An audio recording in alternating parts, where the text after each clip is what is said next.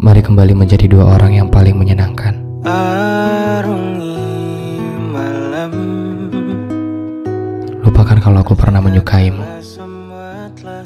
Mari kita kembalikan momen di mana semua hal yang kita lewati selalu menjadi bahan untuk kita bisa tertawa.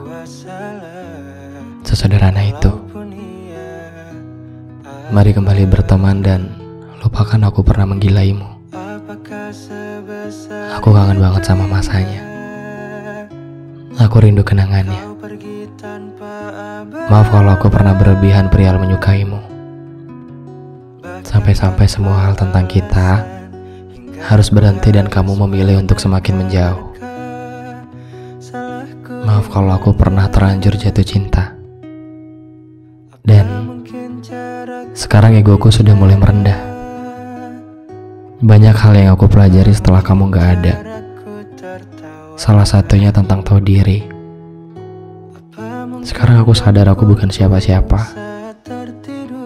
Aku cuma bisa menenangkan, bukan untuk memenangkanmu. Bukan untuk jadi pemenang atas dirimu yang paling istimewa. Kamu cuman baik aja ternyata. Kamu gak beneran suka.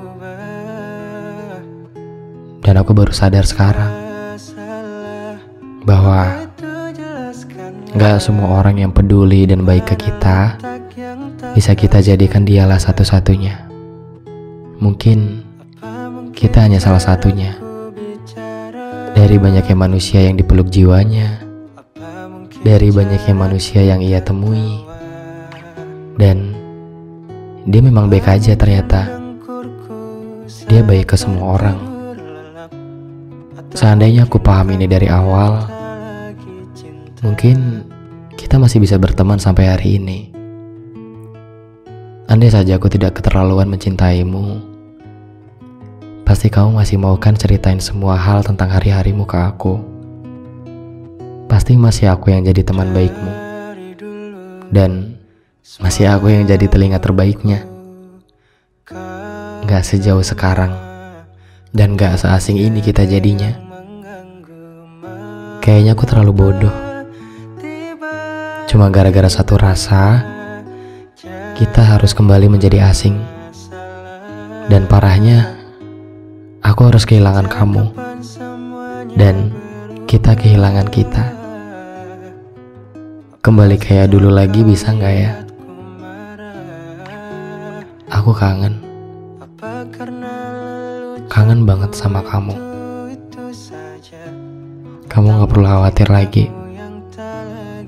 Sekarang, semua rasa tentangmu sudah berhasil aku sembunyikan. Mari kembali berteman dan lupakan aku pernah menyukaimu. Apa mungkin dengkurku saat tertidur lelap Atau mungkin kamu yang tak mungkin kamu yang tak Tak lagi cinta